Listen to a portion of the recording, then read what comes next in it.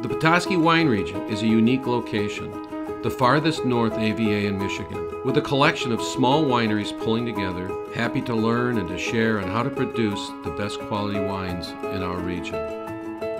All of the wineries are small, and the winery owners are there and happy to talk about their wines.